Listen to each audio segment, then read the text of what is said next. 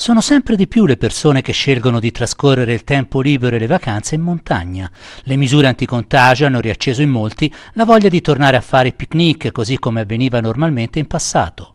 I meno giovani ricorderanno forse che negli anni 70 era consuetudine per chi aveva un'auto la domenica andare alla ricerca del fresco e consumare il pasto all'ombra dei faggi o dei castagni.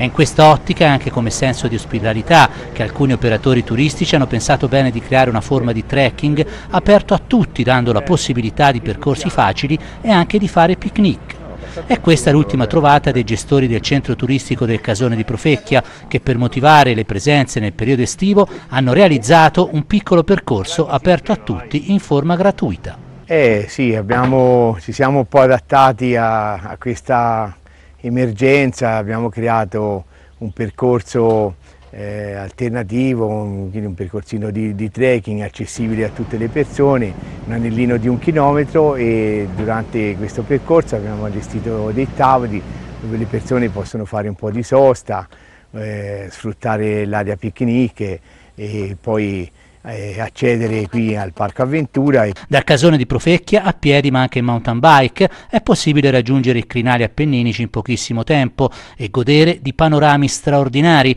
magari salendo sulle cime del Monte Vecchio o del Monte Prado, che è la cima più alta della Toscana.